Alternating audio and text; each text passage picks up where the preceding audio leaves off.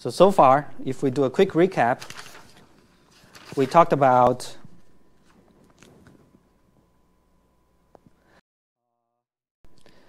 state space analysis, and then if we're giving a state space system, we talked about concepts of controllability and observability.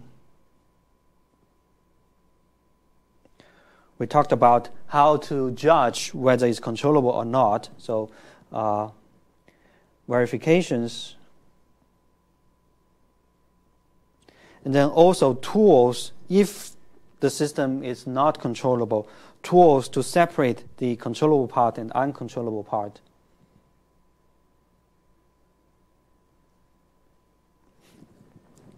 All right, so same thing for observability.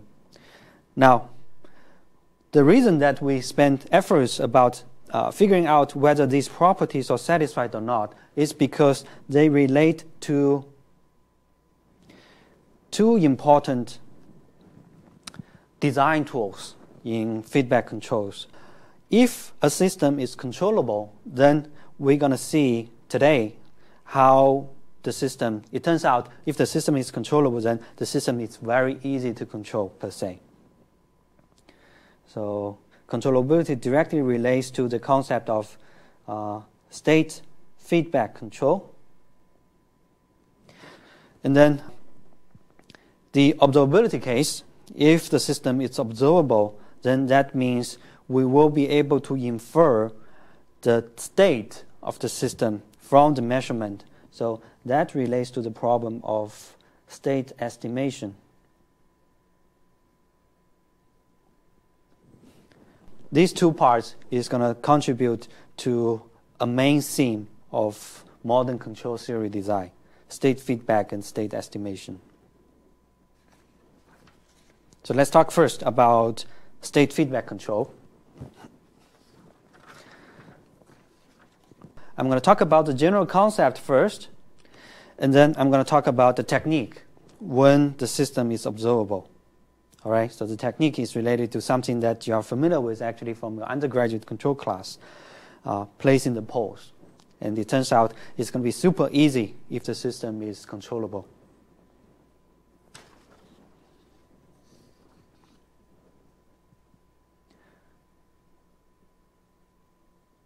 Okay. We have talked about some of the motivations already, and we talked about the concept of uh, feedback, which is essential. This is closing the loop for control system design. And uh, uh, in transfer function approaches, if you think about anything, let's say uh, PID, lead lag, or root locus, the core is about placing the closed loop poles. If we do root locus, we were analyzing how the closed loop poles is going to evolve based on the gain of the controller. And if you are doing lead lag, we always check to uh, make sure that the closed loop poles are stable. So the primary goal is to achieve a proper map of the closed loop poles with output feedback. We use measurement of the output to design the control. Now, for state space systems, some of the key questions we want to ask is what, how much freedom do we have? So if we are given a choice of different controls to design, what kind of freedom do we have in terms of the uh, closed loop poles? Are there like fundamental system properties that makes the system to be more controllable or to be able to achieve higher performance? All right. And then at the end is uh, how do we design and implement these control laws?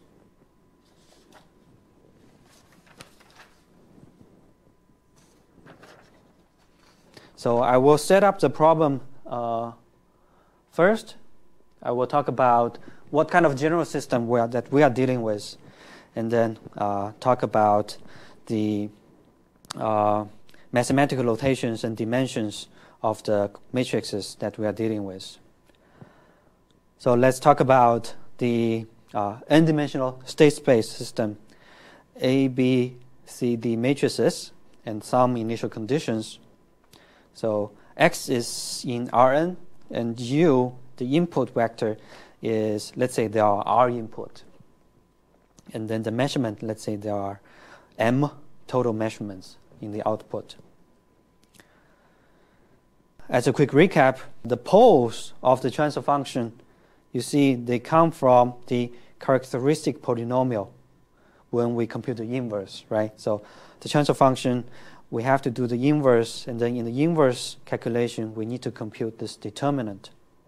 So the determinant of Si minus A will give the uh, poles of the transfer function. And uh, uh, we shall investigate. So the whole idea about uh, closed loop design is to use feedback to change the system by changing the eigenvalues of the closed loop matrix. All right, so we want to change from the eigenvalue of A to something that uh, uh, benefits the control tasks. All right, so maybe A is unstable, then the control task is to make sure that the closed loop poles will be stable.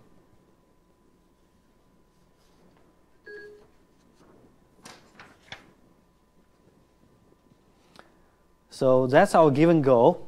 And let's take a look at the technical approach. We have the system, system, system dynamics written here, measurements, the input. Let's take a look at what we can do if we have a state feedback law that looks like this. So we have access to all the state x, and then the input uh, is going to be a function of the state. So let's say is uh, the gain is k, which is going to be a row vector. So it looks like this, and then the matrix x, the vector x, is going to look like this. So this will generate a uh, scalar output if x is a column vector and k is a row vector. And then the feedback law is like this. So we have the state measurement going through to the uh, input side. So u equals to negative kx. So uh, and then there may be some external reference input that uh, is going to uh, give what we want. So this is the reference, and then this is the output. All right. So we will deal with this new input later. The primary goal for now is to make sure that we can to understand by this state feedback how we can change, how much we can change the closed loop, this entire closed loop, the eigenvalues.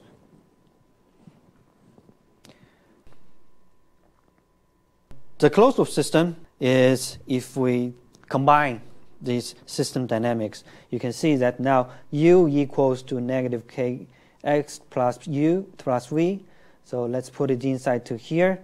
Then we can see that the closed loop dynamics is going to be ax bu is becoming negative bkx plus bv.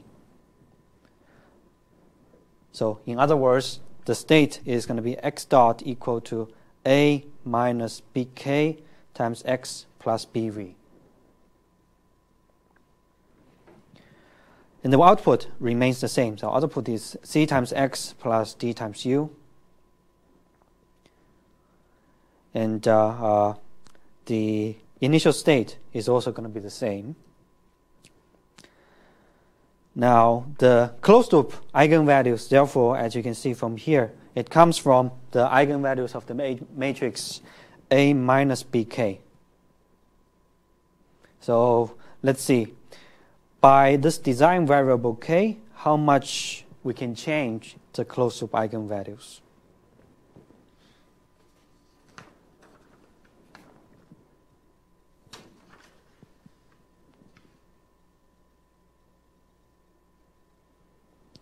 All right? This is the result that I want to show you. It turns out if the system is in controllable canonical form, then we can completely change all the eigenvalues of A minus BK by choosing a state feedback gain k. All right, so we can completely change the closed loop eigenvalues by the state feedback. Let's take a look at uh, the single input, single output case.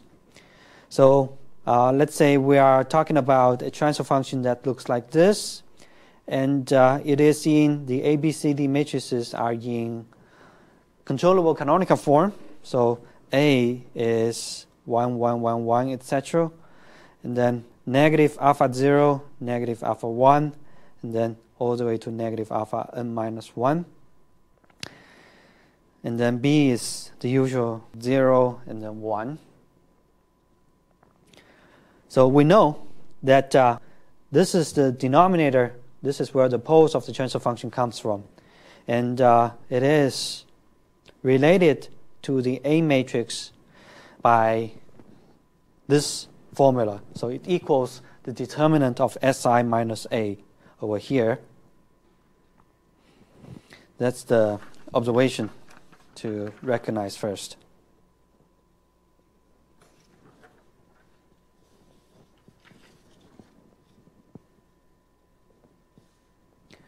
So we want to be able to see, let's say we have some desired closed loop poles location that located at P1, P2, all the way to Pn.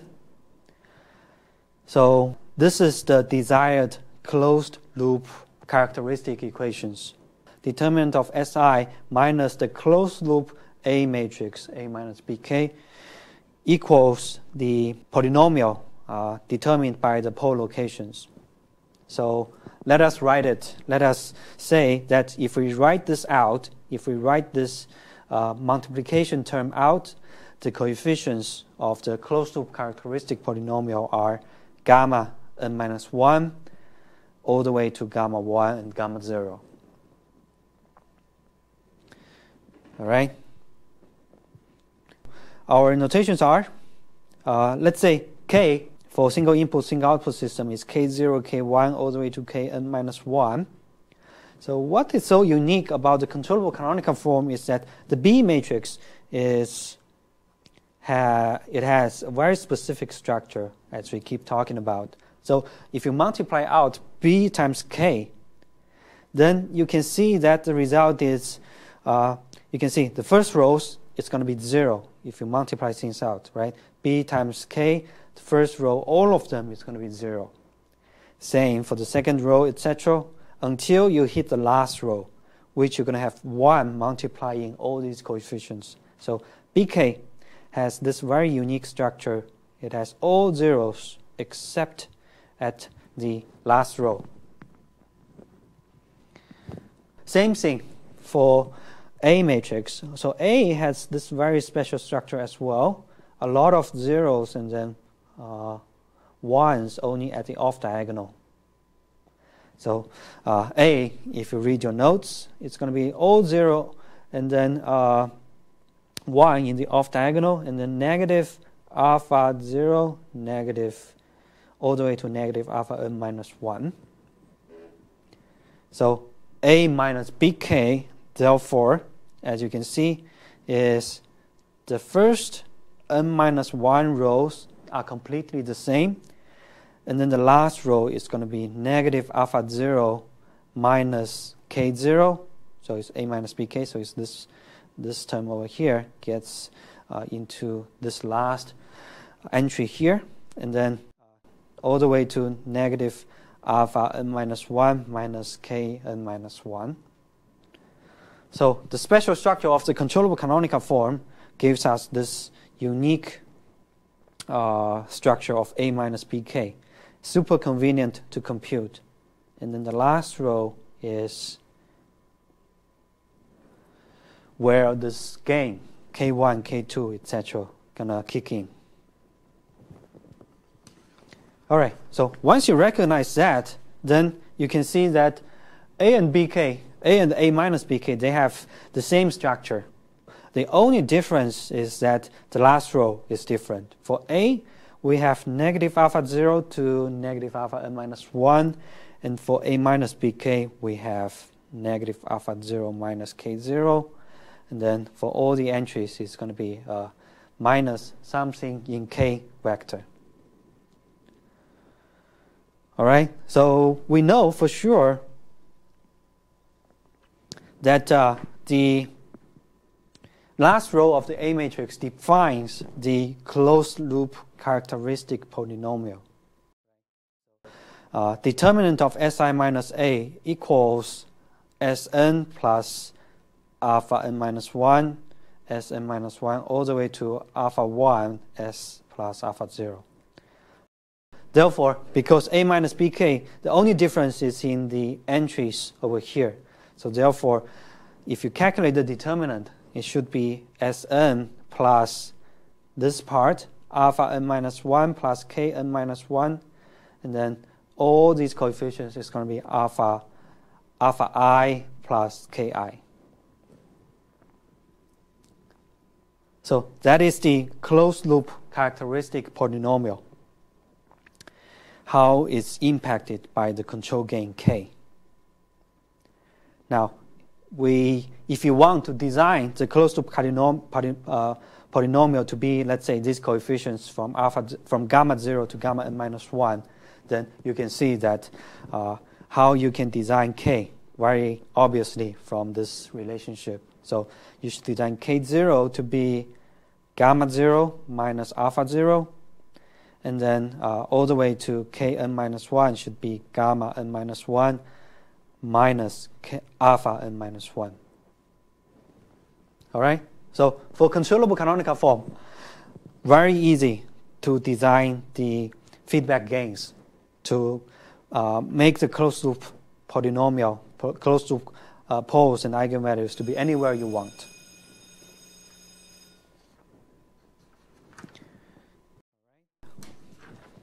So if we want to make the recipe a little bit more formal, this is what we can do. So the pole placement by state feedback as a summary is to do that. First, figure out what we want. Figure out how we want to design uh, desired closed loop poles to be, let's say P1 to Pn. And then uh, once we know that, once we have designed that, then figure out the closed loop characteristic polynomial. Figure out all these coefficients gamma 0 to gamma n minus 1 based on the locations of the poles. And then figure out what is the open loop characteristic polynomial. What are the coefficients alpha 0 to alpha n minus 1. And then just do the K matrix design as this. Make it uh, gamma i minus alpha i. Then you're done. So the powerful result is that if the system is in controllable canonical form, we can arbitrarily place these poles.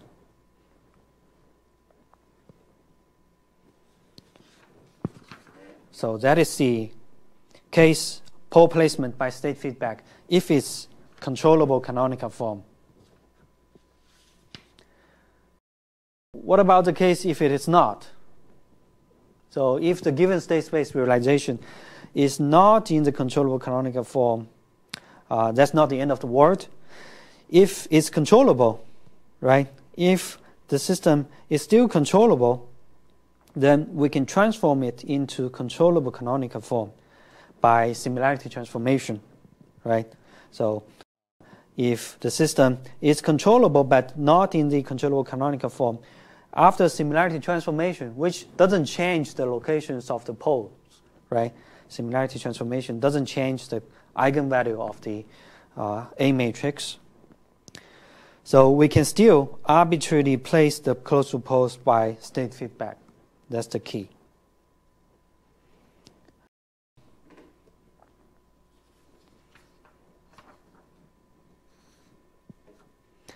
This is the case, this is the concept if it is fully controllable. Let's take a look at uh, the situation when it is not fully controllable. So in this case, we cannot place the closed loop eigenvalues of the poles arbitrarily as we want. However, there is something that we still can do. So recall that we can decompose the state space system into uh, two parts the controllable part and the uncontrollable part. Uh, in this case, if you think about what we can do if we apply control law that looks like this, let's say it's negative k c times xc and then negative kuc times xuc. So the closed loop dynamics is going to be, as you can see, that is going to be so the A minus BK matrix is going to become AC bar, A12 bar, AUC bar minus BK.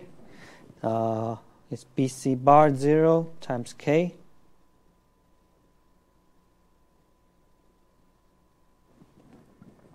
So write it out. You're going to have AC bar minus BC bar times KC bar. And then A12 bar minus BC bar times KUC bar. And then the second row doesn't change. So you can see already some hint. Right? So the state feedback law doesn't change the second row of the A matrix at all. What it can change is only the first row or the controllable part. So the closed loop poles, as you can see, if you calculate the determinant, all right, so the determinant of the closed loop system, determinant of AC, uh, this is the closed loop matrix, is therefore, so the determinant of this minus lambda i, right, so it's going to be uh, equal to determinant of AC bar minus BC bar KC bar minus lambda i 0 AUC bar minus lambda i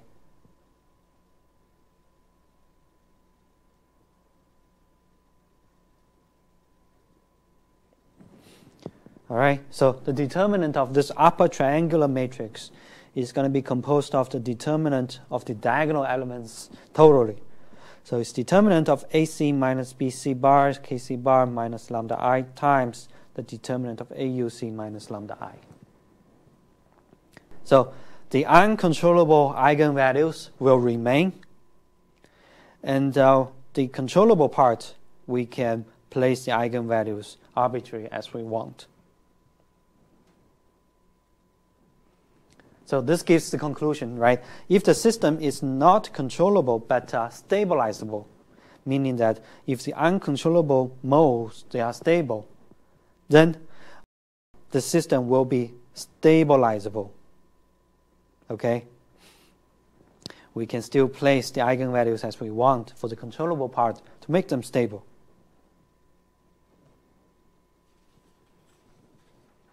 So those are the powerful results if the system is controllable, and uh, uh, if it's not controllable but stabilizable, is those are the things we can do. All right. So these are the continuous time cases. Uh, the discrete time case, you can see that nothing will change, right? So for all the discrete time systems, the analysis will be exactly the same. The eigenvalue placement is exactly the same if we have a state discrete time system.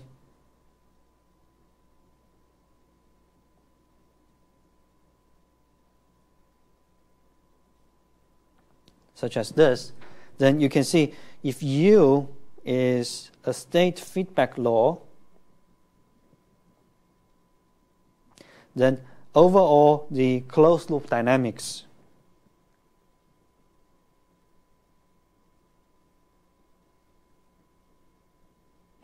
will be uh, just plug in the control law inside xk plus 1 equal to axk minus bk xk plus bvk. All right, so it equals a minus bk again, xk, and BVK.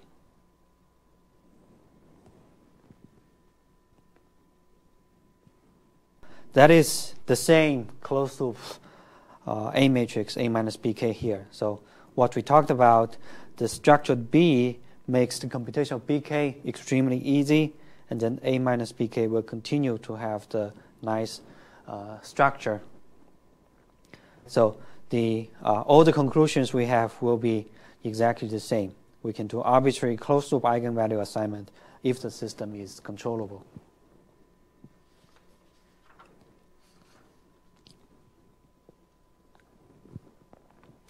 This is if we use all the state. All right, so this is a very powerful control law. The control can actually essentially saying I can pull any state that I want in my design of the feedback system. So that is a strong uh, control law. And if we don't have all the state, let's say uh, we only have output y as our measurement to use, then let's take a look at what the situation will be. So the situation will be plug in this output feedback law u equal to negative f times y plus v to be inside here. Then we are going to get x dot equal to ax plus b times u. So it's negative b times f y plus bv. All right. So ax is the same, and then y is a function of x, so it's bf times cx plus bv.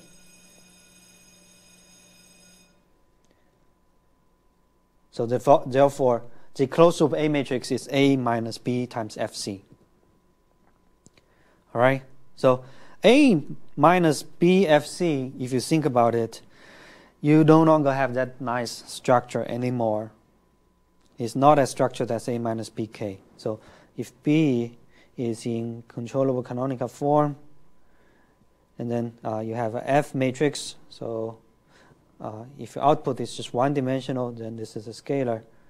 And then uh, C is going to be whatever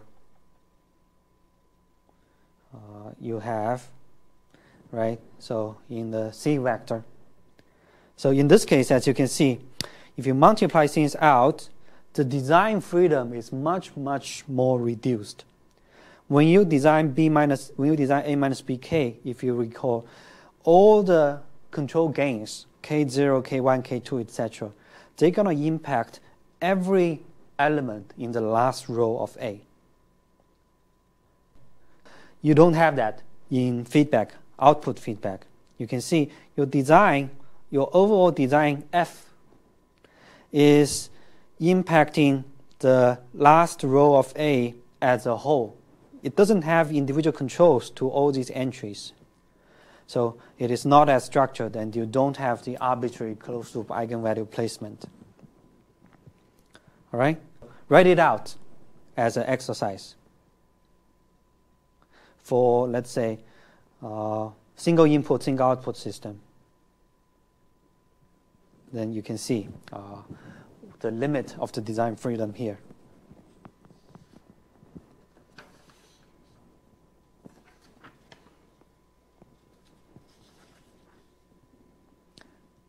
As an example, as an example, uh, let's take a look at the case for spring mass damper system.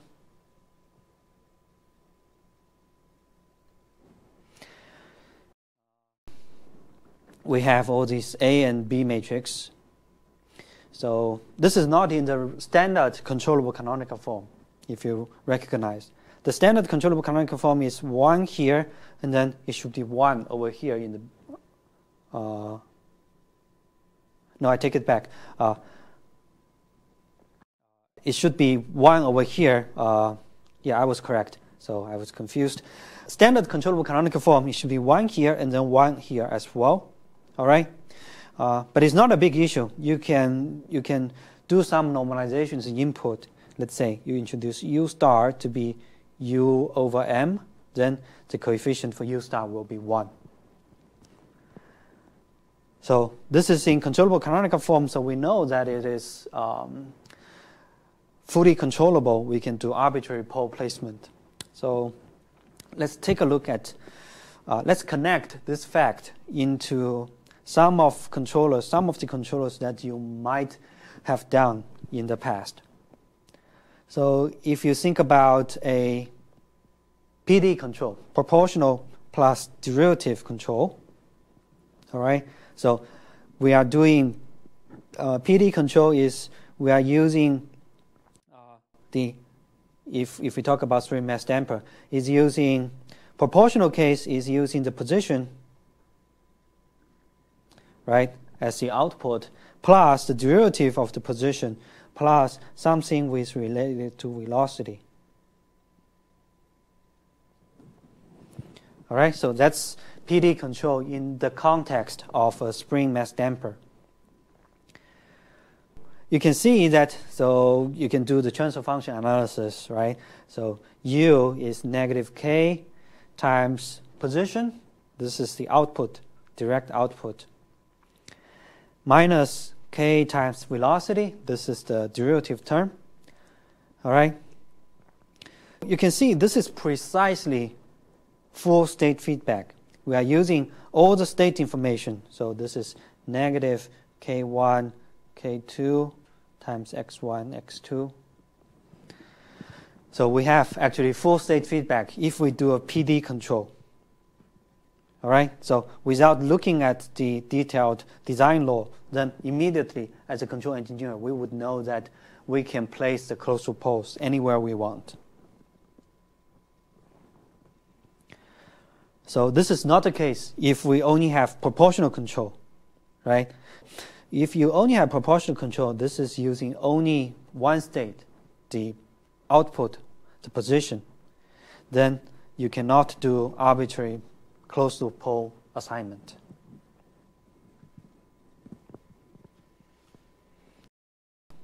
So that is the power of state feedback and uh, what we can do in terms of closed loop design.